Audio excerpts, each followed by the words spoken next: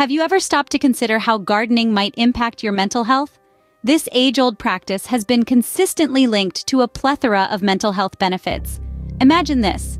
Every time you dig into the earth, you're not just cultivating plants, but also sowing the seeds of improved mood, bolstered self-esteem, and an enhanced attention span. The act of gardening is a gentle yet compelling invitation to engage in physical activity.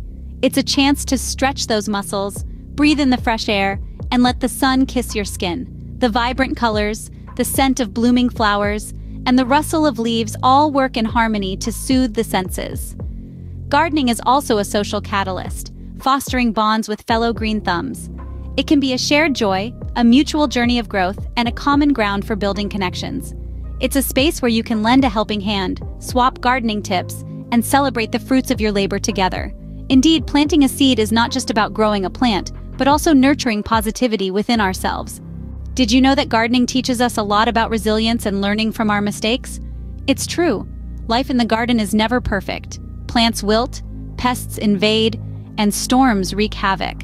But the beauty of it all is that it's not about avoiding these challenges, but rather learning to navigate through them.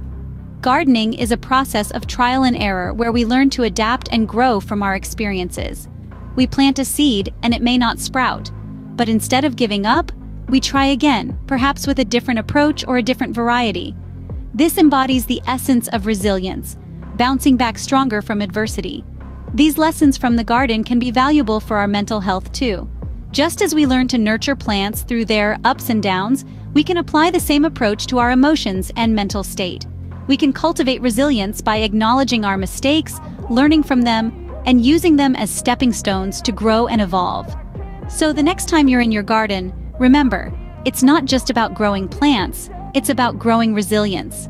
Just like in life, in gardening, every mistake is a stepping stone to success. Can gardening complement other mental health treatments? Absolutely. Gardening is a natural ally to mental health treatments. It's more than just the physical exercise. It's about the calming effect of nature, the mindfulness aspect of it. When we garden, we're not just planting seeds in the earth, we're planting seeds of hope, of growth, and of healing within ourselves.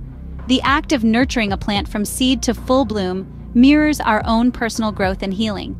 It's a tangible representation of the results of care, patience, and time. Imagine this.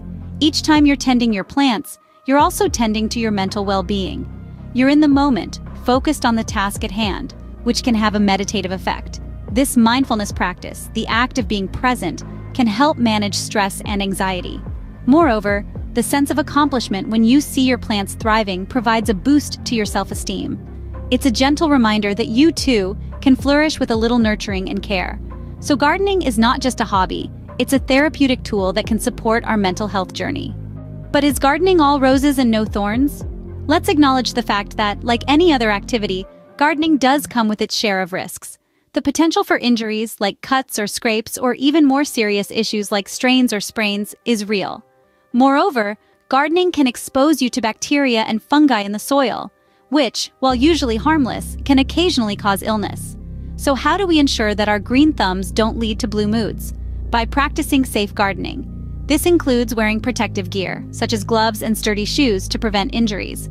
Regularly washing your hands and avoiding touching your face can also help to reduce the risk of illness from soil-borne pathogens. Remember to take breaks and avoid overexerting yourself to prevent strains and sprains. And if you're new to gardening, consider starting slow, maybe with a few indoor plants or a small outdoor plot, to gradually build strength and endurance. With the right precautions, gardening can be a safe and beneficial activity for everyone. Wondering how to get started with gardening for mental health? Well, let's sow the seeds of your new journey together. One of the easiest ways to start gardening is by joining a community garden. It's a great place to learn, share, and grow together, not just plants but also relationships. If you're more of an indoor person, fear not. Indoor plants are an excellent way to bring nature into your home. Start with easy-to-care-for plants like succulents or snake plants. They're hardy, require minimal attention, and can thrive in a variety of indoor conditions. But remember, not all plants are created equal. Careful plant selection is key.